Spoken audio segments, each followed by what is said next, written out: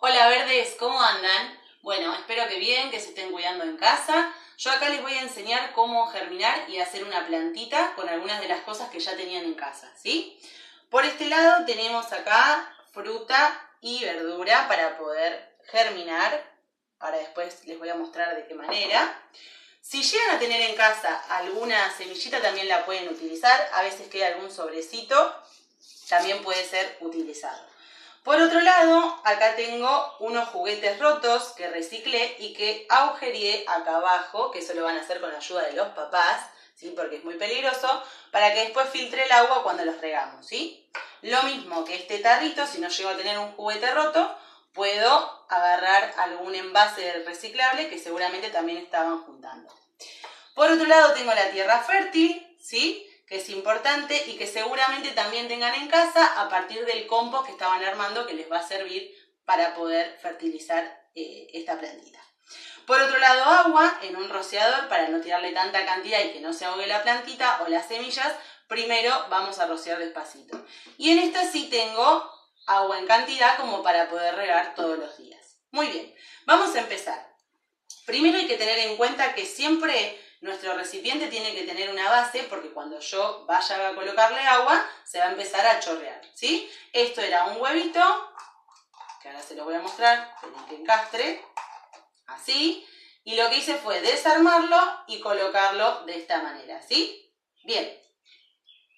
Ahora sí, ¿qué tenemos que hacer primero? Colocar un poquito de tierra. Acá con mi pala yo me voy a ayudar. Voy a ir colocando un poquito de tierra. ¿Sí? Tengan en cuenta que se puede llegar a ensuciar un poquito la mesa, si tienen espacio pueden hacerlo en el patio. Y ahora vamos a rociar un poquito el agua. Así, ¿ven? Ahí está, entonces ya se humedeció. Una vez que yo rocié la tierra, vamos a colocar, en este caso, por ejemplo, voy a elegir un pedacito de tomate que tiene las semillas adentro.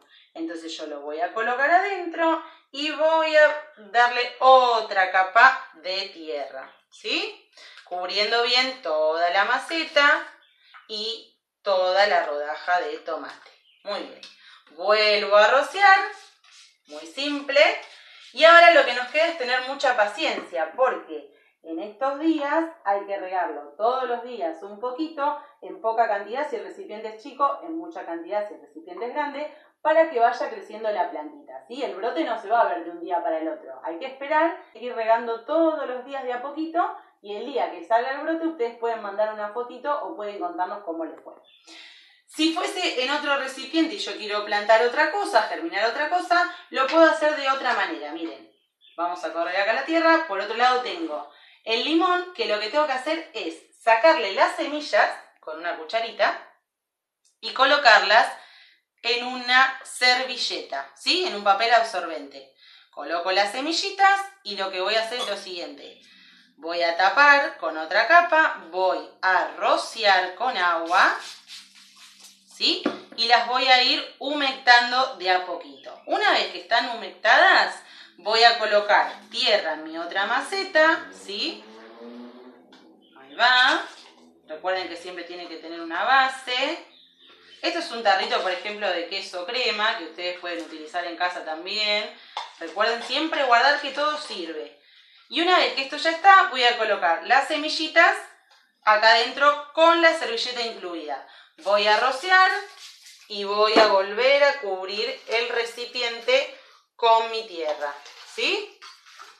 Una vez que esté todo bien cubierto, vuelvo a rociar y vamos a esperar igual que esperamos con la otra maceta, ¿sí? Todos los días hay que tomarse trabajito de regar y fijarse cómo viene la plantita. Si le echan mucha agua se va a ahogar, si le pongo poca se va a secar. Entonces tengan en cuenta que siempre esté húmeda la tierra. Cuando la voy a tocar tiene que estar mojada, ¿sí? Siempre con ayuda de los papás tienen que hacer estas cosas. ¿Por qué? En este caso, por ejemplo, de la fruta o la verdura, la tiene que cortar algún papá. ¿Sí? Y en cuanto a la tierra, ya saben que tienen que poner en un lugar bastante cómodo, en un lugar que les sea práctico para poder trabajar. Y además eh, tienen que pedir ayuda para poder agujerear los recipientes. ¿sí? Ustedes lo que tienen que hacer es juntar los recipientes o reciclar los juguetes que tengan en casa que están rotos y además seleccionar las frutas y pueden colocar la tierra. Todo lo demás lo hacen los papás. Así que bueno, yo los despido y los espero la próxima.